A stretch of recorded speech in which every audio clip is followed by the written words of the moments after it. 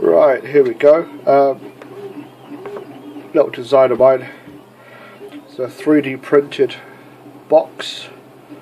Um, inside is some ultra bright LEDs.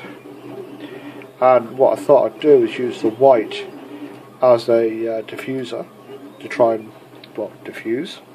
So press a button and it is bright.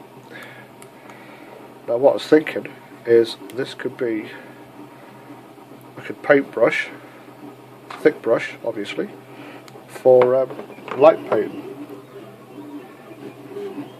The lute's still setting so that's to thingy, but what I got a little tactile switch, 3 volts, so not too bad. And so far seems to be alright and well there you go. Diffused